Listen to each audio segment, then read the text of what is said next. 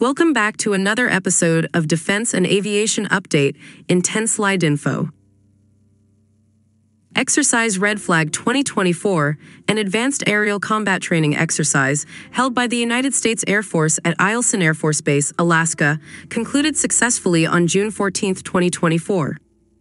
This exercise was conducted from June 4th to June 14, 2024, and it was the second edition of Exercise Red Flag held in 2024. The exercise provided realistic combat training for military pilots and other flight crew members from the United States and allied countries, including India, Singapore, United Kingdom, Netherlands, and Germany. During the exercise, participants flew a variety of missions, including fighter interdiction, attack strike, air superiority, enemy air defense suppression, airlift, air refueling, and reconnaissance.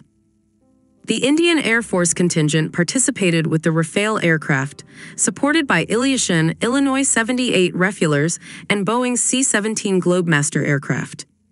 This marked the first time Indian Air Force's Rafale jets were involved in the Red Flag exercise. Apart from these machines, personnel comprising aircrew, technicians, engineers, controllers, and subject matter experts also took part and helped during this exercise. Despite the harsh weather conditions, the Indian Air Force maintenance crew ensured the serviceability of the aircrafts throughout the duration of the exercise, and all assigned missions could be undertaken with more than 100 sorties being flown. The exercise provided valuable insights into interoperability and multinational cooperation, with the Indian Air Force gaining experience in long distance ferrying and air to air refueling.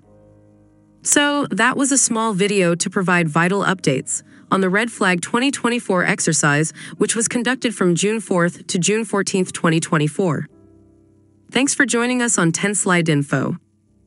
For more such informative defense and aviation videos, please subscribe to our channel. Thank you.